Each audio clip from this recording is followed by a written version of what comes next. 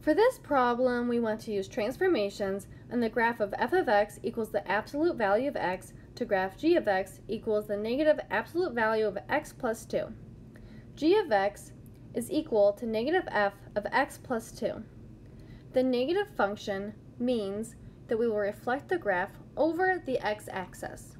So our new points are going to be at 1, negative 1, and negative 1, negative 1. Connecting the points, we get the graph of negative f of x.